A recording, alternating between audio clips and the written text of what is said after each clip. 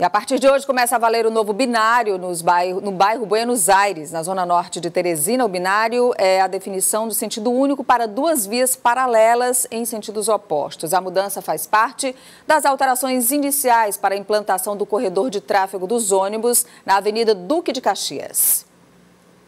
Sinalização sendo colocada na pista em frente à casa de Dona Silvia. Ela mora na rua Miguel Alves, a mesma do Hospital do Buenos Aires.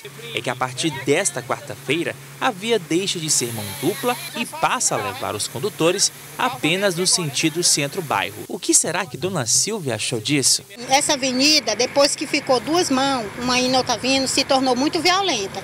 Porque aqui tem criança, os meninos atravessam para estar para um lado e outro, a gente às vezes está na calçada. Quando eles vinham de lá para cá, era ribando pneu, às vezes a gente via no instante matar até a gente aqui. A esse trans modificou também o sentido da rua Irmã Catarina Levrini, que também era mão dupla, mas agora passa a funcionar apenas no sentido bairro-centro.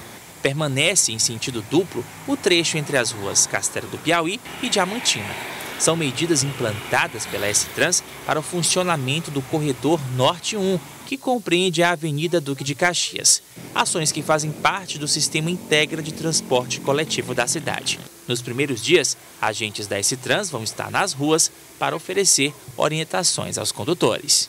Agora só resta saber o que os condutores estão achando dessas mudanças aqui na Zona Norte. Eu acho que vai ficar vai ficar bem melhor, né? O certo mesmo era para ser resolvido era lá na parte de cima, que tá uma burocracia danada para as pessoas que passam todo dia. Acho que é bom, vai melhorar muito o trânsito, né? Vai desafogar um pouco o trânsito das outras vias, né? Eu acho que vai melhorar. A gente se adapta, acaba se acostumando.